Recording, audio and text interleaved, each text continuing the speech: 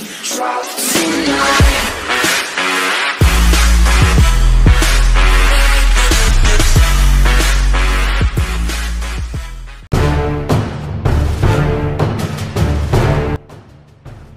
Subscribe now Auto Today channel.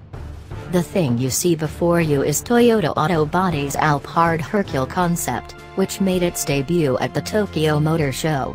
It's not just the exterior of the open-top reinterpretation of that familiar MPV that's vivid, the accompanying press info on the vehicle is too. Imagine that you are sipping champagne with your friends while enjoying the pleasant sea breeze as you drive towards a yacht harbor in southern Europe. This open cruiser is equipped with a sophisticated interior space that is filled with a sense of openness and freedom that is perfectly suited to a holiday such as this. Quite the opening descriptor for the five-seater, which measures 5,265 mm long, 1,850 mm wide and 1,960 mm tall. Plenty of striking bits to be had. There's that nose, which isn't exactly subtle to say the least, but the standout surely has to be the large retractable soft top, the aperture starting from behind the front row seats right up to the tail.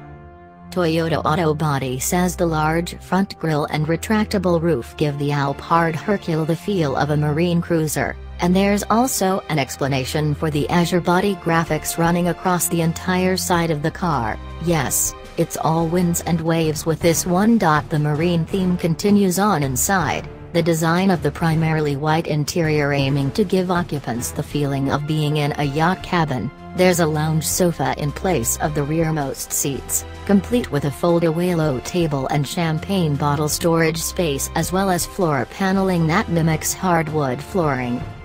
As for the Hercule moniker, Tab says that the study is named after Port Hercule, a yacht harbor in Monaco as well as Hercules. Yes, with this one, you'll be sailing on in strong and striking style.